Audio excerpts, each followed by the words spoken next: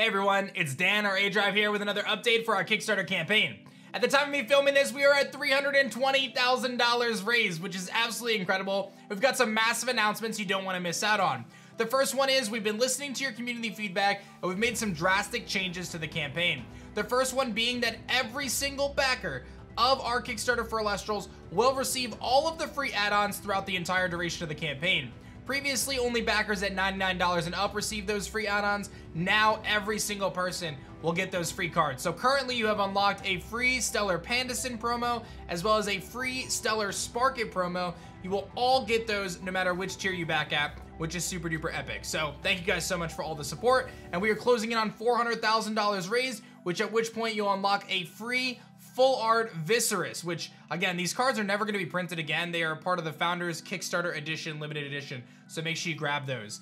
We also listened to the feedback and added a new tier based on your feedback. A lot of people were asking for a tier between a 1000 and the 10,000 create a card. So we added a $24.99 tier, $2,500 tier, which is limited to just 100 backers. And a lot of them have already gone already, so I encourage you to take a look at that. There's a few things that makes that incredible. One, you get 36 booster boxes.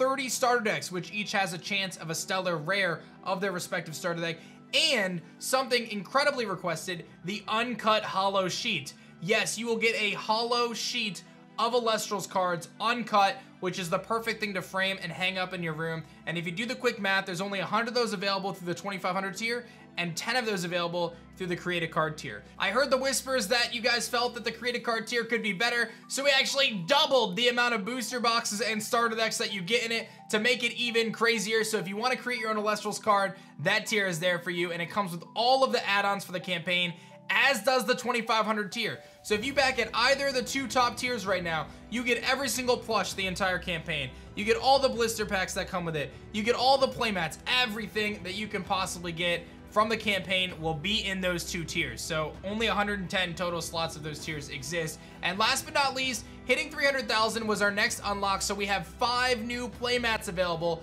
one for each starter deck, stadium field, which are amazing. Seriously, they are incredible. So be sure to add those onto your back. You can go and adjust your, your add-ons and your backer everything like that on the Kickstarter page, so make sure you guys do that. And we have five new sets of card sleeves as well to match your playmats. Our playmats are super high quality. They're actually stitched around the edges. They are beautiful. You're gonna love them, so be sure to add those to your campaign as well. We're making our big push towards 400k. I wanna see that hype keep going. You guys have been incredible so far. Be sure to tell your friends. This game is a lot more fun to play with friends, so spread the word, tell your friends about the campaign, tell your family members about it, and get excited. Now is the time to back Elestrals as we hit these next stretch goals and keep on cruising on this campaign. I hope you guys see that we're listening to your feedback and trying to make this the best Kickstarter we possibly can. So thank you guys for your continued support, and I'll see you guys soon with another update.